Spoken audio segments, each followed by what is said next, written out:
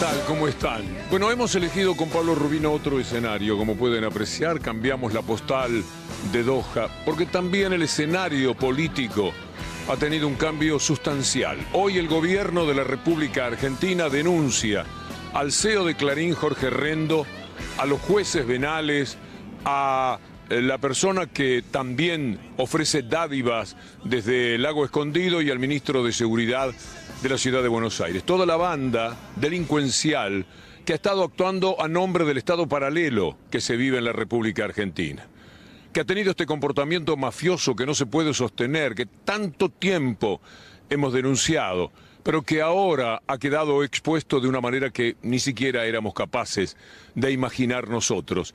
Y le hace mucho bien a la República, porque sabemos que hay un poder escondido, malicioso, mentiroso, corrupto, pero que además tiene una enorme influencia sobre la sociedad para hacerle la cabeza a la gente en contra del valor de la política en la República Argentina, particularmente un sector de la política, que vendría a ser el peronismo, los sectores aquellos que están comprometidos con el pueblo en la lucha de lo que llamamos pueblo contra las corporaciones.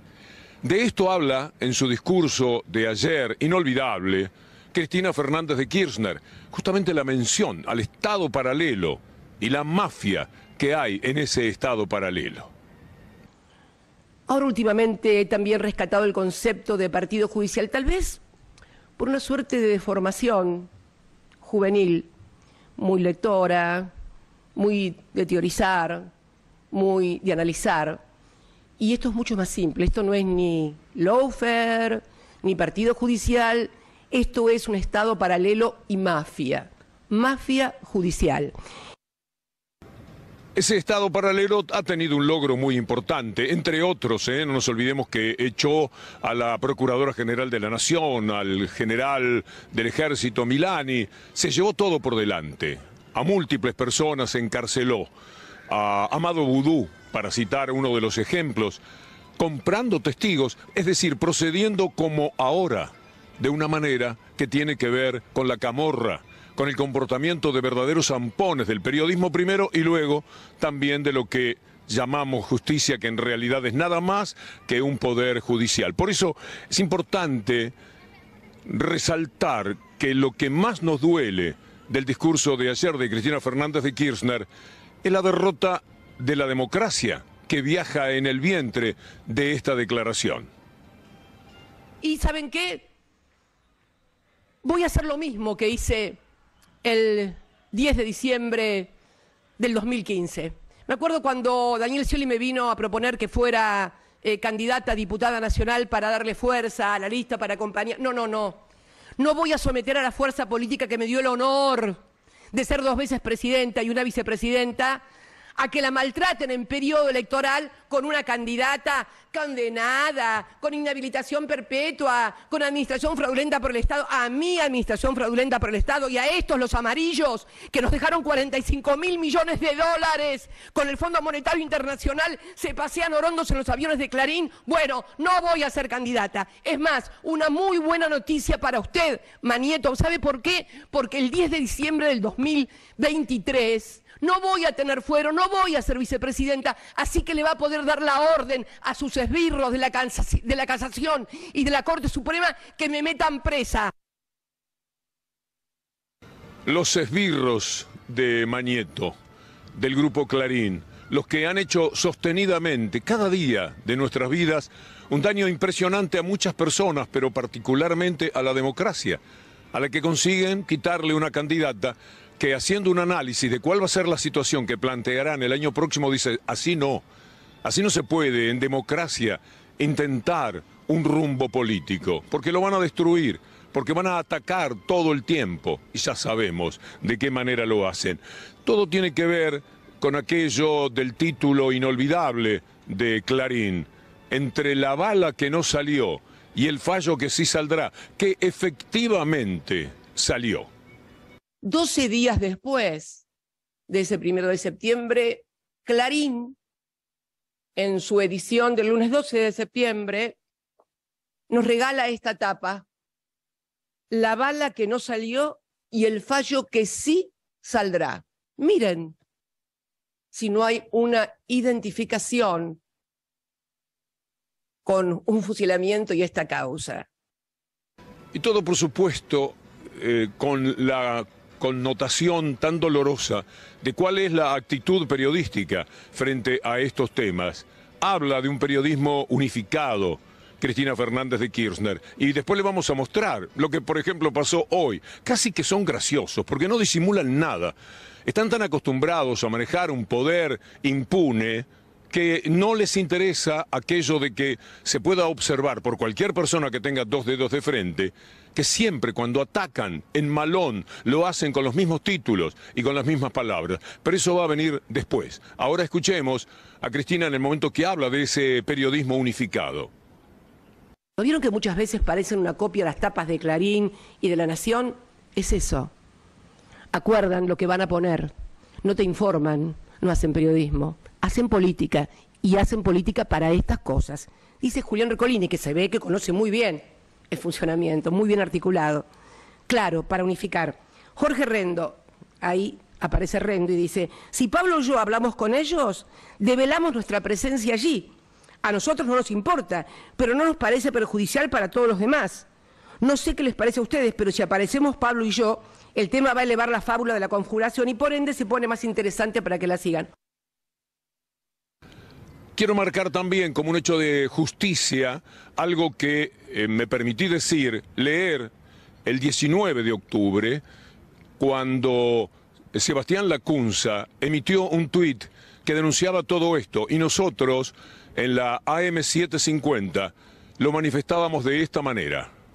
Estaba mirando algo muy notable que escribe Sebastián Lacunza, un destacado colega, sobre cuál es la conducta de la derecha, pero también el grado altísimo de impunidad que tiene esa derecha. Sebastián Lacunza escribe un tuit en el que dice, espían, ya saben quiénes, por supuesto, Macri y todos los demás, espían, los descubren, reciben jueces en Olivos, los descubren, arman Gestapo, los descubren, juegan en los abrojos, los descubren, y con todo esto, igual, arman un charter para jueces y espías a una casa de un amigo de Macri, el tal Lewis, en terreno usurpado.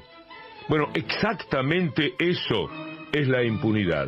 Me parece una definición sin la que hoy no puede transcurrir el día eh, sin tenerla en cuenta, porque esta es una manera de hablar de lo que pasa hoy día en la República Argentina. Vamos a tener muchísimos temas que hacen a ese dominio del neoliberalismo.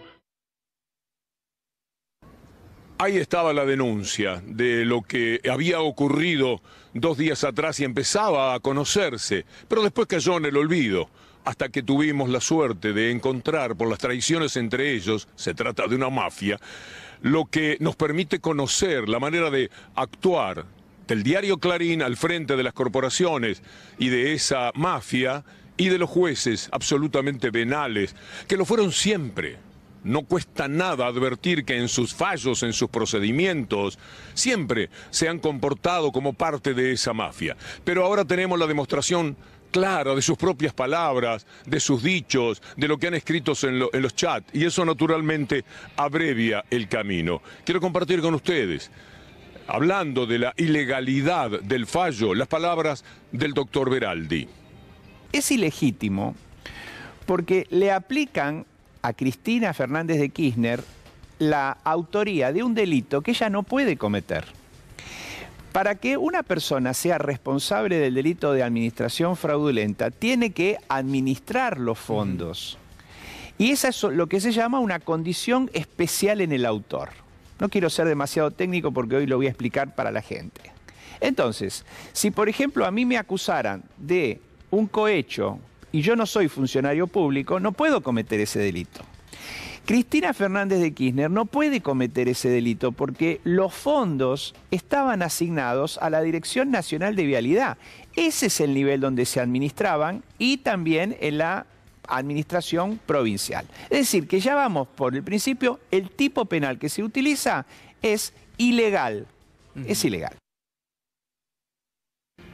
Casi que no haría falta intentar la demostración, con todo respeto por los abogados, de la falsedad que contiene todo este proceso y toda esta historia. Pero es muy interesante de todas maneras, pensar que si se puede juzgar a Cristina Kirchner por lo que ocurrió en Río Gallegos, es decir, por lo que hacen funcionarios de, del gobierno de turno, tendrían que juzgarla por miles de crímenes, porque son muchos los funcionarios que de alguna manera en algún sitio han cometido un acto que no corresponde con los deberes del funcionario público, con lo cual tendría que ser responsable de todo. Y al mencionar esto ya estamos hablando de la ridiculez que ese propósito tiene.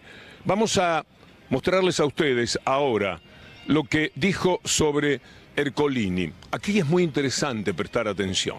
Ercolini había dado por cerrado todo, no había nada porque nunca hubo nada. Y un Ercolini que no estaba expuesto al gobierno de Macri y a la presión de la mafia de Clarín, en aquel momento cerró todo. Pero después, cuando la ah, política, los tiempos políticos fueron diferentes, retrotrajo la situación. Es increíble que lo haya hecho. Cualquier persona del mundo del derecho sabe, un estudiante que está entrando a la facultad conoce que esto es inadmisible. Y sin embargo es lo que hizo Ercolini. Lo dijimos el 2 de diciembre del 2019, o sea, hace exactamente tres años, la condena estaba escrita. No es que en aquella oportunidad fuéramos clarividentes ni adivinos, era algo mucho más sencillo.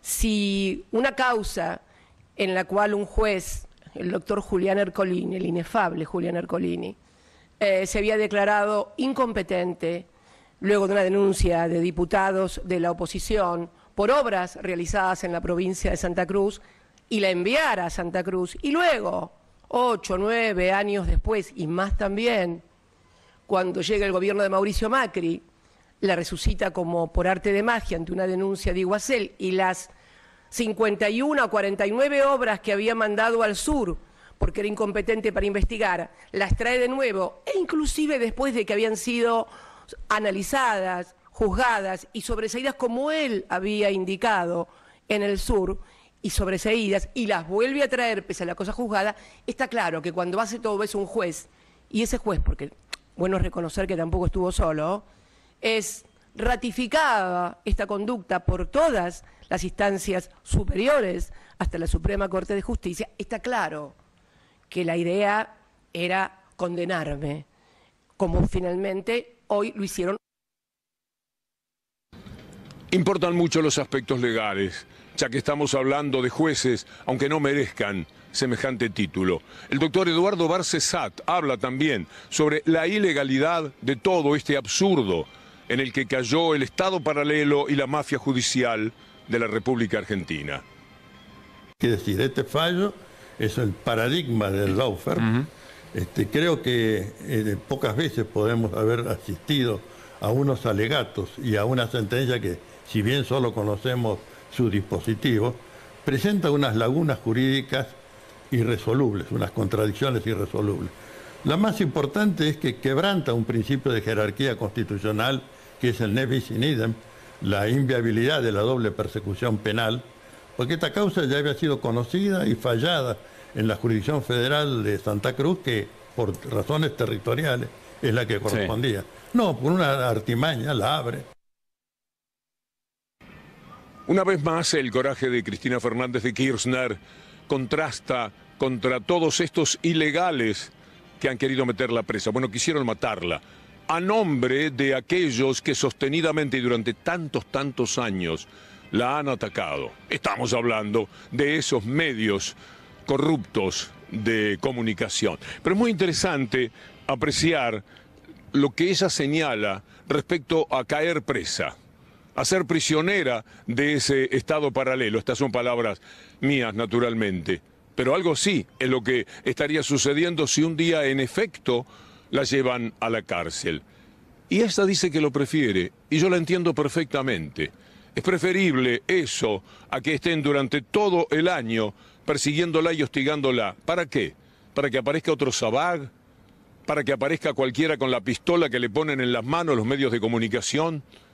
Y todas aquellas personas que repiten sin saber absolutamente nada, sin haber leído un expediente, tan solo porque lo que el mafioso de Héctor Manieto hace escribir a sus esbirros, es demasiado.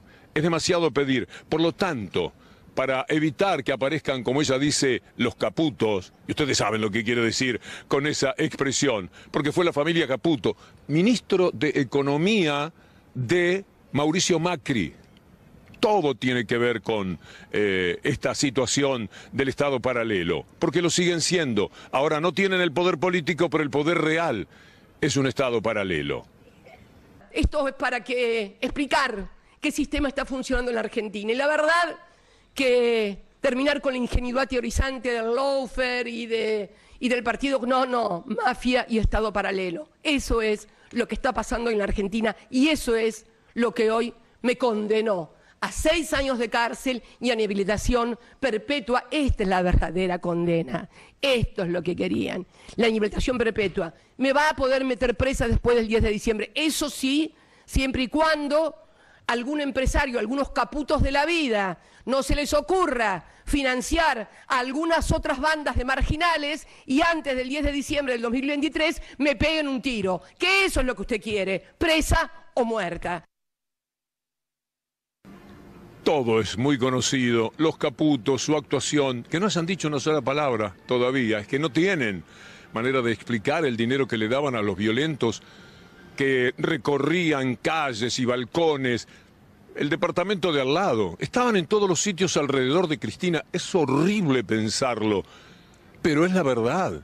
Es exactamente lo que sucedía. Y todos conocemos a los personajes en cuestión.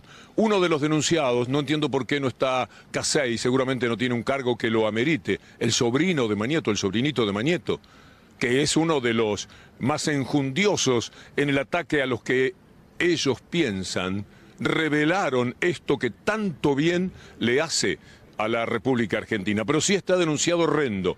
Y lo que señala Cristina Fernández de Kirchner es que son bien conocidos, y de verdad, son muy bien conocidos ambos, como cada personaje, cada vocero, cada esbirro, cada miserable que se ha expresado desde el Grupo Clarín. En el avión iban esos, pero ¿quién pagaba el avión? Bueno, ahí está el tema. Quien pagaba el avión era el grupo Clarín, Manieto, a través de sus dos personeros, eh, Jorge Rendo, al que no hay político en la Argentina ni juez que no conozca a Jorge Rendo, el operador oficial para todo terreno de Manieto y del grupo Clarín. Y el sobrino eh, de Manieto, eh, Casey, Pablo Casey Manieto. el grupo Clarín, es divertido. Pasan cosas raras, diría mi colega humorista Adrián Stoppelman, cosas muy raras. Se animan desde ese poder que sienten tener, aún a quedar pagando frente a los propios, ya no a quienes los conocemos desde hace demasiado tiempo. Los ciudadanos argentinos ya no pueden tener paz, no hay manera de, de tolerar esto, Escuchémoslo en lo que dijo el lunes, y luego, permítanos presentarles otro Joaquín Morales Solá, pero no de hace 15 o 20 años, de ayer no más.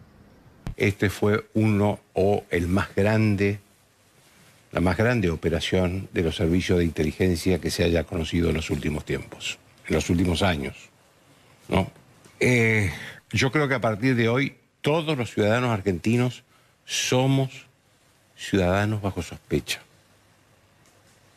Por primera vez en 40 años, los servicios de inteligencia se metieron en las públicamente, conocido públicamente, a otras veces lo habrán hecho, pero no se conoció. Públicamente se metieron en las conversaciones privadas de las personas, es decir, en la vida privada de las personas, que está y en la libertad de las personas que está garantizada por la Constitución. Muy bien, muy bien lo de Morales Solá. Está muy mal, ¿cómo van a hacer eso? Escuchas ilegales, etcétera. Salvo que sean la de los enemigos del Estado paralelo y de la mafia. La camorra sí podía utilizar lo que son escuchas llamadas ilegales. Y no tenía ningún problema en hacerlo. Escúchenlo a Joaquín cuando abogaba a favor de las escuchas ilegales, esa que ahora le merecen los comentarios que acabamos de escuchar. Por supuesto que el primer discurso que van a decir los kirchneristas es que las escuchas telefónicas que se conocieron hoy son ilegales. La verdad que son legales, porque están autorizadas por la justicia en el marco de otra investigación, que es el rey de la efedrina. Entonces, este, pincharon los teléfonos de Seiza y por supuesto ahí cayó la conversación de este, Lázaro Báez con su abogado. Por primera vez en 40 años, los servicios de inteligencia se metieron en las conversaciones privadas de las personas. Pincharon los teléfonos de Seiza y por supuesto ahí cayó, y por supuesto ahí cayó la conversación de este, Lázaro Báez con su abogado. Pero que sea legal o ilegal, que sea legal o ilegal no significa que no esté expresando en la realidad de los hechos cuál era la relación, cómo era la relación entre Lázaro Báez y Néstor Kirchner y después también con Cristina Kirchner. Todos son muy graciosos. De verdad que lo son, porque los jueces suelen decir que no quieren pagar ganancias porque eso estaría limitando su independencia. Yo creo que en eso ya tenemos el carácter moral de algunos jueces, los que argumentan eso. Quiere decir que si ganan un millón de pesos, ganan más que eso, pero si ganan un millón de pesos, tienen independencia. Pero cuidado, que si tienen que ganar 800 mil, porque deben pagar 200 mil de ganancias, por ponerlo como ejemplo, ahí están recortando la independencia. Ahí ya no se sienten tan independientes, no se sienten tan jueces no pueden fallar con la mente libre.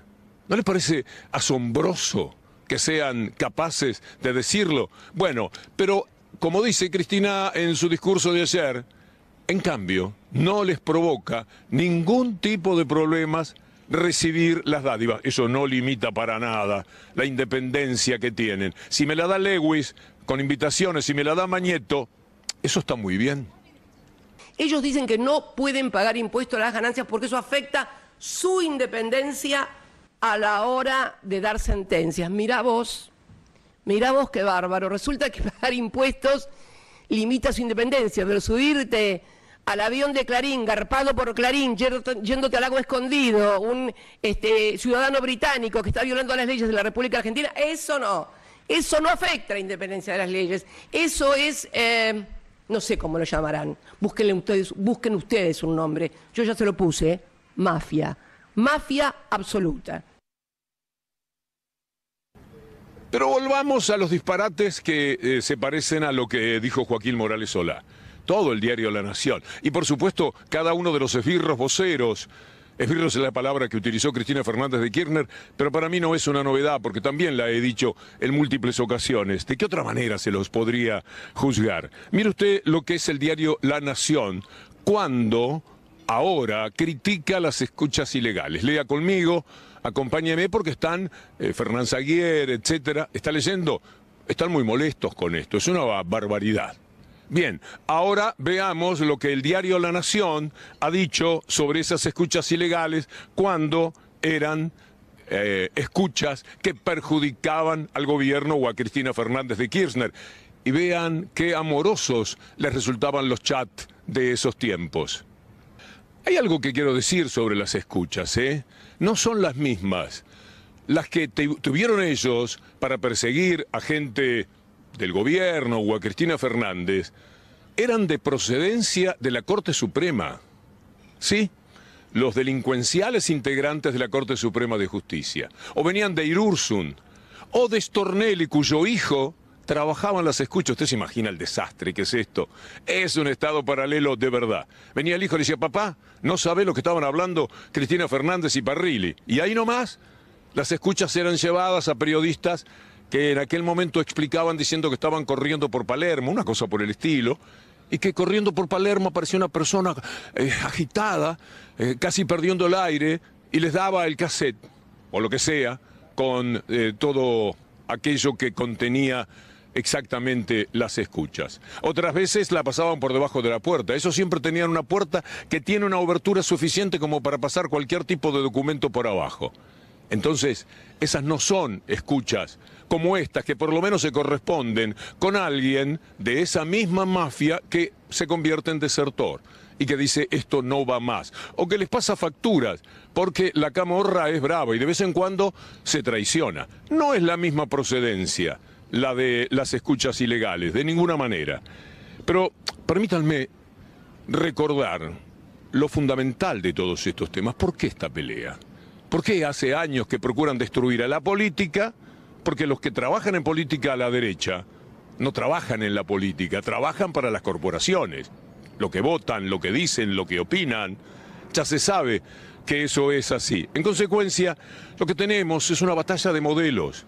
Un modelo que piensa mal, bien, regular, con éxito, sin éxito, a veces acertando y a veces no, pero piensa en el punto de partida del pueblo. Está con los jubilados, está con el estudiante, está con el trabajador, está con los aumentos, está con las paritarias, está con la salud, está con la educación, está con que vuelvan los científicos.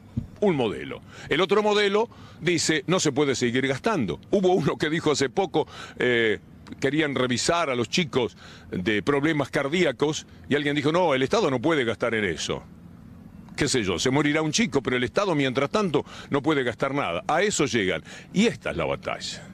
Y esta es la pelea que se tiene en la Argentina. También podríamos decir en buena parte del mundo, el capitalismo se ha hecho cargo de los medios de comunicación para permanentemente hacernos la cabeza, el bocho, como dicen los chicos, a favor de que está muy bien el egoísmo, está muy bien que el Estado no se meta en nada, no ayude a los desventurados que justamente genera el capitalismo.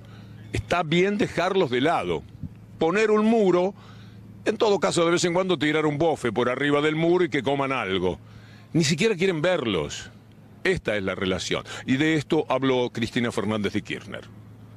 Es también un sistema disciplinador. Hay que disciplinar a la dirigencia política argentina, no a los que piensan como ellos, como Juntos por el Cambio, que están de acuerdo que las universidades públicas son un gasto, que todo es una, que, el populismo, que los derechos, que no, que como la FJP, que no, que como eh, recuperar IPF. No, no, no, no.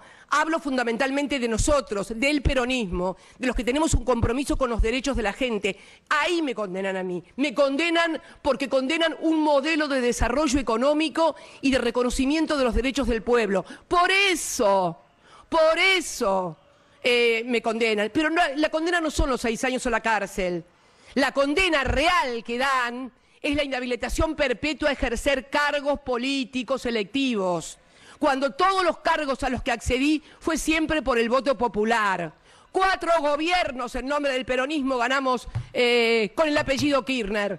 En el 2003, en el 2007, en el 2011 y también contribuye a la victoria que obtuvimos en el 2019 cuando nadie daba dos pesos por el peronismo. Claro, claro, por eso es que eh, la condenan. El tema no es los seis años de cárcel. Ese es un pretexto. Fíjese cómo se apartaron de la asociación ilícita. Mañana le pido a Anabela Sánchez, a nuestra Anagenia y a Juan Pimonte Songanía, maravillosos productores de este programa, si podemos acumular algunos títulos que a través de los años manejaron sobre la asociación ilícita. Un disparate tan mayúsculo no se animaron. A eso no se animaron. Había que condenarla de alguna manera tenían que elegir un tema para condenarla. No nos gusta la voz, por lo tanto la proscribimos. No nos gusta el tono, es un poco soberbia. Basta de ella. Tenían que buscar un pretexto, pero no la asociación ilícita. No se animaron porque la burrada que estaban a punto de cometer, porque cuando hablaba Luciani, Luciani, con su nombre de mafia también, Luciani, parece Lucky, así se llamaba diciendo 12 años de cárcel. ¿Se acuerdan cuando Clarín decía, ayudado por Carrió y por toda la, la runfla política? 12 años le van a dar. A eso íbamos ayer en realidad, pensando en los 12 años, porque era tan difícil que se bajaran de algo, pero como el tema era proscribirla, dijeron, bueno, con esto no se alcanza. Acá lo importante es la proscripción, 6 años, 4 años, 7. No nos cambia demasiado la ecuación, dijeron Gorini, Basso y Jiménez Uriburo, las marionetas de Manieto que allí estaban sentadas. Que me metan presa. Sí, pero mascota de usted nunca, jamás, ¿entiende? Nunca, jamás. No voy a ser candidata a nada, ni a presidenta, ni a senador. Mi nombre no va a estar en ninguna boleta. Termino el 10 de diciembre y me vuelvo como me volví el 10 de diciembre del 2015 a mi casa.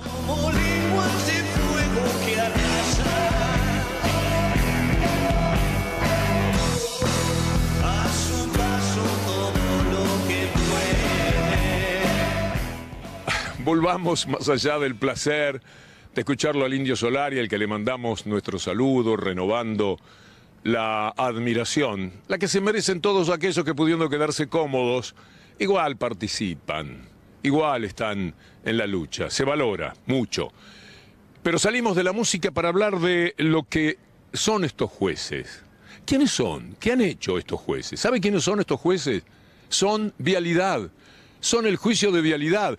Todos estos indecentes, estos delincuentes tan baratos, porque mire, la verdad es que cayeron por miserables, por ratones, porque se hubieran pagado el pasaje, tienen necesidad de que Clarín les pague el pasaje al sur, ¿cuánto cuesta? Y la comida. Pero son muy conservadores, se ve que son devotos del bolsillo, devotos del codo, qué sé yo. Y por eso caen. Por eso es que ahora buscan facturas truchas que ya las presentaron. Ercolini buscaba facturas truchas, ya las tiene. Ercolini las puso en el juzgado. Ercolini. Ercolini va a ir preso antes que nadie. Me animo a suponerlo. Ercolini va a ir preso antes que Cristina Fernández de Kirchner, porque esto que ha hecho le va a costar más que un dolorcito de cabeza. Él metió en la cárcel a la gente por dádivas. Y ahora está metido hasta el tuétano en esta historia y en este asunto. Los jueces y vialidad. En ese viaje privado de un vuelo que partió, creo que de Aeroparque, no sé exactamente de dónde, cuatro jueces viajaron allí. ¿Y por qué importa acá en esta causa? Ahora lo van a ver.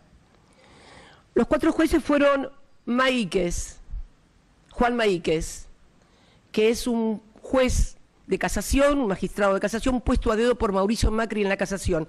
Nunca concursó para ese cargo. Lo extrapolaron de la casación nacional y lo trasladaron y lo plantaron en la casación nacional. Juan Maíquez, recuerden el nombre. El otro era Julián Ercolini. Julián Ercolini es el juez que instruyó esta causa. Maíquez, Maíquez padre, es el padre también del fiscal Maíquez que instruyó también esta causa de vialidad. ¿Ven? Eh, un juez en lo penal económico, Yadarola, juez federal también, y otro Casial. Si uno mira, es como que está todo el fuero federal. Ercolini dice bárbaro y habría que conseguir las facturas. Habría que conseguir las facturas. Miren si nos enganchan a nosotros o a ustedes, ¿no? Haciendo una factura trucha? A un juez. Un juez está, está buscando facturas truchas a un juez. Ercolini está buscando facturas truchas. Busca facturas truchas. Ercolini busca facturas truchas. Consiguió facturas truchas. Le dieron facturas truchas. Las buscó. Se las dieron. Las consiguió. Y las metió en un juzgado. Fragró, fraguó pruebas fraguó, falsificó facturas. ¿Saben lo que le pasa a cada uno de ustedes cuando, factura, cuando falsifican una factura? Marche preso. Los jueces y los que representan a los periodistas. Mañeto, pobre, qué lío debe tener ahora, porque el sobrino, no sé, le dirá, tío, ¿qué hago? Me voy, me, me eyectás del planeta porque se comportó como un gran inútil junto a Rendo. Mirán lo que cayeron. Y justo ahora se revela para siempre cómo es la mafia. Ya queda claro, el que no lo quiere entender es porque está haciendo un esfuerzo desmesurado. Miren ustedes a, a Casey, el sobrino, hablando enojado con Mariano Recalde, Mariano Recalde al parecer, esto no lo sé, pero surge de las palabras de Casey, ellos saben estas cosas, Mariano Recalde está pidiendo eh, las grabaciones, está queriendo saber un poco más. Y entonces Casey dice... Les cuento la info que tengo. Ahí em, hay un flaco que trabaja con este, está ahí adentro con Blinkis, Blincis, el de la PCA. Me contaron que, que está apretando, porque quiere las cámaras, quiere las cámaras de seguridad de ahí del aeropuerto, es eh, Recalde, Recalde hijo. Es el que está rompiendo las pelotas en todo esto. Y que el tipo se opone a dárselas no se las quiere dar y dice que no se las va a dar. Que esto no, no saltó por las concejalas, esto lo pidieron de Buenos Aires. Entonces alguien batió y alguien fue a buscar la planilla. O sea, hay que tirar de la cuerda hasta el, hasta el fondo. Eh, si es así, la mejor forma de abortar una que salga a la luz es denunciarlo a Recalde, ¿eh? que anda pidiendo esas cámaras. Bueno, ahí está eh, lo que dice Casey. Y también vale la pena verlos a ellos reunidos en el aeropuerto. Esto era lo que querían esconder. Esto es lo que les preocupaba que busca Mariano Recalde. Por esto llamaban a la fiscal y a la jueza. Vamos a ver qué hacen la fiscal y la jueza. Muy interesante. Ya estaba ofreciendo mandar todo a Comodoro Pi, le decía a es uno de los Dalton, uno de los grandes, grandes bandidos. Este está en la ciudad, el padre está en casación y tienen distribuido por toda la justicia toda la parentela. En el Liverpool, un chico que alcanza la pelota es Maíquez es un Dalton chico. Así juegan, así eh, se manejan en todos los sentidos. Ahí están en el aeropuerto, gran recibimiento, camionetas 4x4 que son, deben ser 6x6 en realidad, porque eran impresionantes los lugares a donde subieron, según las fotografías. Y volvamos a los que ha denunciado el gobierno. Entre ellos está el jefe, el ministro de Seguridad de la ciudad de Buenos Aires, que es un crápula de siempre, por lo tanto es el que lo vive más tranquilo. Está manso y tiene atrás a Rodríguez Larreta, que es peor, por supuesto. Y Rodríguez Larreta dijo, a mí no me van a tocar el ministro, yo le creo lo que me dijo. Decente como soy, dijo Larreta, imagínense ustedes, me vienen a tocar un ministro por esto, por esta tontería de las dádivas, dádivas y todo lo demás. No lo voy a permitir de ninguna manera. ¿Quién es D'Alessandro? D'Alessandro es el de las vallas. D'Alessandro es el de la zona liberada. D'Alessandro es el de la policía que decía cuando llegaba a Quisiló, no es gobernador de la provincia de Buenos Aires, tírenle nomás. O la Roque. Acá los militantes son tratados como tales, como militantes. Y van a ver en carácter de diputado, gobernador de la provincia de Buenos Aires, modestamente, decía Quisiló, iban a visitar a Cristina Fernández de Kirchner. Pero esto hacía el personaje de Alessandro. Escuchemos a Cristina Fernández hablar de él. Además iban dos funcionarios de Rodríguez Larreta, el jefe de gobierno de la ciudad de Buenos Aires, que era su ministro de Seguridad, Marcelo D'Alessandro, a quien recuerdo muy bien porque fue Marcelo D'Alessandro el que colocó las vallas en mi casa cuando sucedieron los episodios después del atentado, me vallaron la casa, él fue el autor de eso.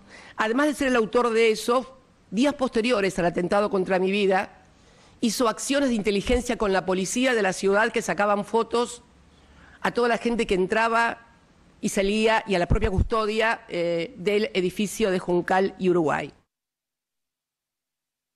Bueno, lleguemos a los maíques finalmente y a los jugadores del Liverpool. Volvamos a los personajes de la justicia. Coco, el papá, es un personaje, yo les contaba muchas veces, ¿eh? Ha sido parte de nuestro programa. Yo siempre lo llamé los Dalton. Una ocurrencia por las películas de Cowboy. Cuando yo veía Se Busca, Wanted, escribían en los árboles y clavaban la, el dibujo del buscado, yo pensaba siempre que eran como los Dalton, porque son muchos y tienen un enorme poder. Bueno, Coco eh, y los jugadores del Liverpool son personajes muy especiales. ¿eh?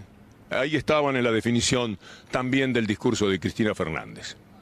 Y también lo acompañaba otro funcionario, el jefe de los fiscales, el jefe de los fiscales que es Juan Maíquez, hijo de el otro Maíquez, Carlos Maíquez, hermano del fiscal de la causa. La familia judicial en su máximo esplendor. Son así, si uno puede ver en los juzgados, recorre los juzgados, es el primo, el hermano, el tío, la sobrina, el nuero. Bueno, en el propio tribunal que me juzgó a mí, el, camarista Hornos, que va a ser el que voy a tener que apelarle esta sentencia, el camarista Hornos, es el tío de la señora del eh, presidente del tribunal que me condenó, o sea, la esposa del presidente del tribunal, el de, Liverpool, el de jugador del Liverpool. Bueno, la señora es la sobrina del camarista al cual yo tengo que ir a apelar. Y eh, además, recordemos, por hacer un recordatorio de la memoria, juegan en Liverpool con el fiscal de la causa, con el inefable Luciani también, en donde, en la quinta de Macri. ¿Y qué otro jugador hay del Liverpool? Bueno, Llorens, Mariano Llorens, que está en la Cámara Federal, en la cual eh, siempre eh, falla, por supuesto, condenándonos. No nos olvidemos de aquella fotografía de Jiménez Uriburu, porque además, mientras sentían que nadie los podía tocar, ahora deben estar mucho más nerviosos todos, pero Jiménez Uriburu, ¿se acuerdan cuando salió lo del Liverpool? Esa connivencia que tenían claramente entre eh, su papel de hombres de la justicia y de serviles de Macri, asaditos con Macri, partiditos de fútbol con Macri. Mauricio, pasámela, pasámela. Jugaban encantados de la vida. Estaban todos ahí. Eran parte de la banda y se sentían muy, pero muy seguros. Entonces al otro día Jiménez Uriburu, ¿qué hizo? Mostró el mate de Liverpool, diciendo, ¿qué me vienen a mí con Liverpool? Acá está el mate. Acá dice Liverpool, sí, soy un jugador más del Liverpool. Tienen también mala suerte porque, mire, Alconadamón, que como periodista tiene unas cuantas agachadas de denuncias muy falsas, por ejemplo, contra la gente de este canal, y ya vimos el papelón que en algún caso ha hecho, y tiene aquello de lo tarde que se supo, después de las elecciones, que Macri era, según el consorcio de periodistas internacional, el delincuente que es. Y Alconadamón, de vez en cuando, dice algo que es interesante y que no le sirve a ellos. Así que vale la pena escucharla. Este, este mejunje, por un lado, entre jueces, fiscales, empresarios, eh, tratando de complotarse para tratar de ocultar información. Sí, sí, pero esto es una forma de verlo. Y también está lo otro que vos decías. Y esto sale a la luz gracias a un hackeo ilegal, un espionaje ilegal. Con lo cual, esto es patético y esto otro también. Y a su vez, esto, ¿quién lo va a investigar? ¿Quiénes? Lo mismo que habitualmente en Comodoro Pi se dedican a encubrir, no a investigar. Uno de los temas que trató Cristina en su discurso es Telecom. Cuenta cómo Mañeto, y todos lo sabemos, quería Telecom y se quería llevar por delante al gobierno de Cristina Fernández porque quería Telecom de cualquier manera. Por eso hizo lo que hizo. Todas las miserias, lo de Nisman, convirtiéndolo en alguien que era víctima de un asesinato cuando se había dado un tiro en el baño de su departamento, la fortuna que tenía inventada Máximo Kirchner en el Caribe o Nilda Garré, la de Kisilov, el triple crimen de la efedrina del que hacían cargo con el título de la morsa al actual ministro Aníbal Fernández, toda una vergüenza. ¿Por qué hicieron eso y por qué tenían que poner como fuere otro gobierno? Esto era lo que intentaban. Para quedarse, por ejemplo, con Telecom, Inextel y todo lo que les dio el gobierno de Macri. Es muy interesante que en el marco de lo que señala Cristina Kirchner reconoce lo que pasó en 2007, diciembre del 2007, no me olvido de esa fecha. Yo tenía buena imagen, como todo el mundo, del gobierno Kirchner, pero en diciembre del 2007 se firma Cablevisión y Multicanal, naturalmente venía yo llevaba en ese momento 15 años luchando contra esta mafia. Y por lo tanto no pude menos que ser crítico de aquel momento. De ahí vino que en el 2008 había quienes pensaban que yo eh, hablaba mal del gobierno, hablaba mal de esto.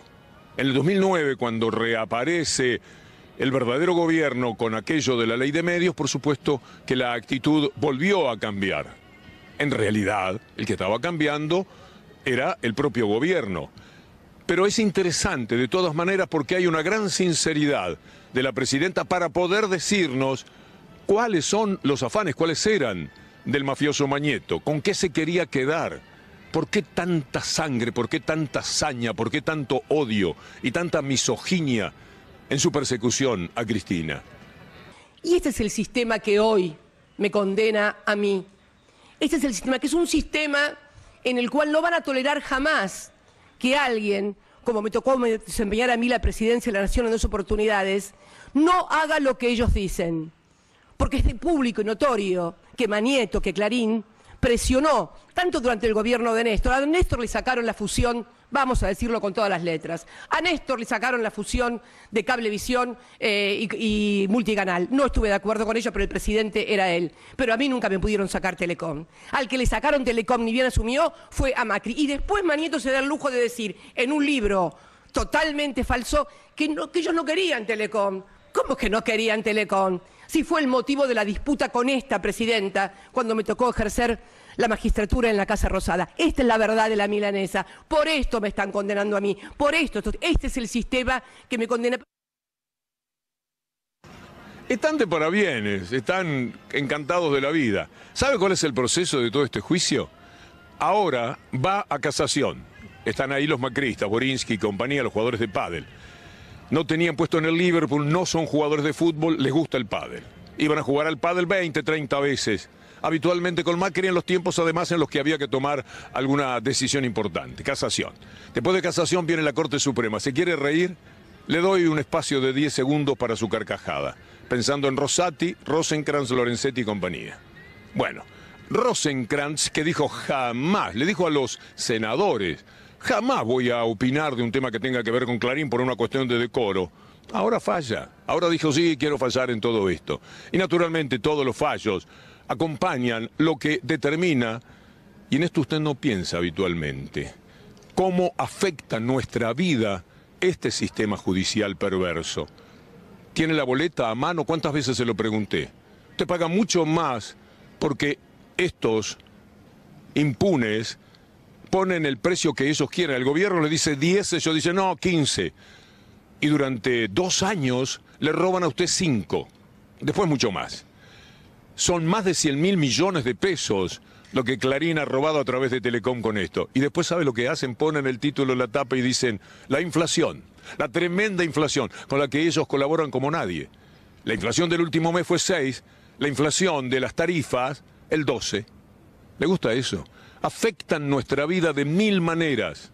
Todo lo que pasa en nuestras vidas tiene que ver con una justicia que está a favor de las corporaciones y en contra de cualquiera del pueblo que se quiera manifestar. Le estoy diciendo esto porque vale la pena recordar a Rosenkrantz, aunque sea un, instante. En el caso Clarín, me excusaré porque creo que hay razones de decoro que... En el caso Clarín, me excusaré porque creo que hay razones de decoro que así lo indican, aun cuando no dudo en modo alguno de la imparcialidad con la que puedo analizar los casos que se traigan por ante los estrados de el tribunal. Todo tiene que ver con la ley de medios. Aquello que lamentablemente tuvo el poder y la decisión Macri de anular. Eso que siempre estamos esperando del gobierno y ya nos queda poco tiempo. Hay que hacer algo. Por ejemplo, está bien la denuncia, pero no es intervenible un poder judicial cloacal como el que se ha dado esta gente con el Estado paralelo al servicio de los afanes y afanos de Clarín, es muy grave. El doctor Zaffaroni repasa un poco este tema de la ley de medios.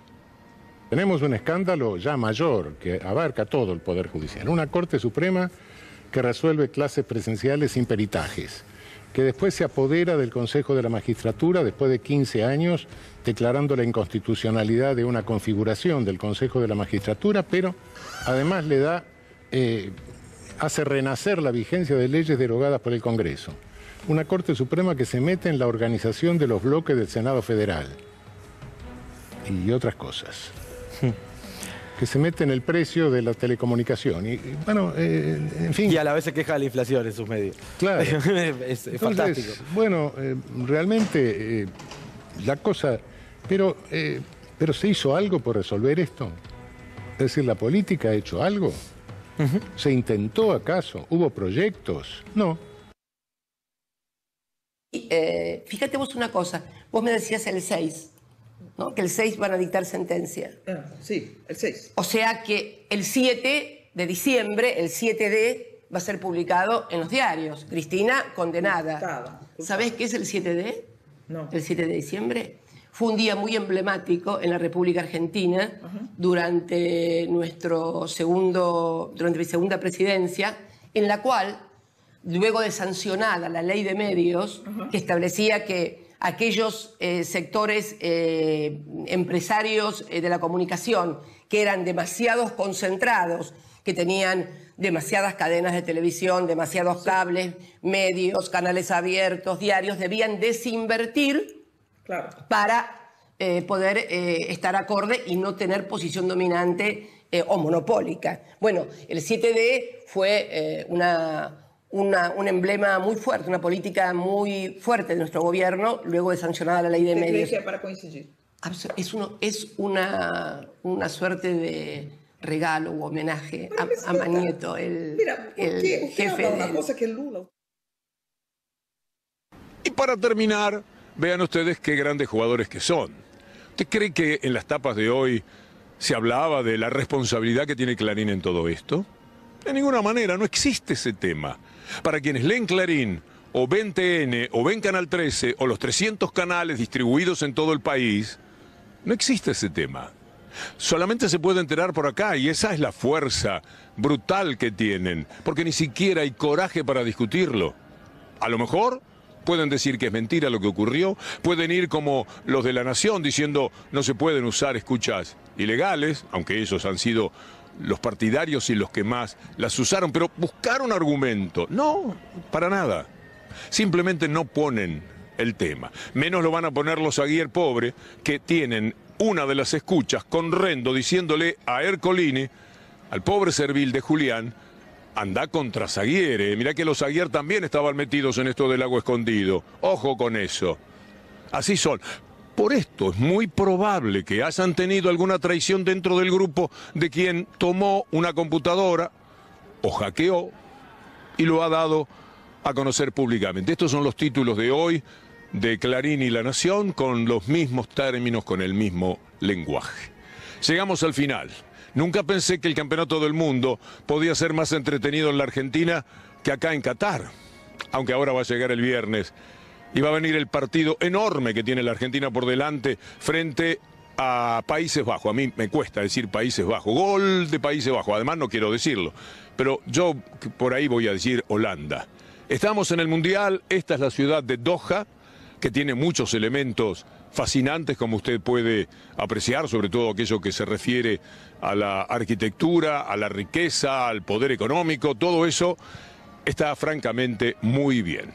Estamos aquí, pero no podemos perder de vista lo divertido que es el Campeonato Mundial de los Mafiosos, con ese equipo formidable que han conseguido armar. Eh, no me sale de memoria, tengo más fácil Holanda, pero eh, podemos hablar de Casay y Rendo, Ma- eh, Dittman, D'Alessandro. Ah, sí es un equipo interesante. No pueden perder en el Campeonato Mundial de las Mafias. La seguimos mañana, si Dios quiere.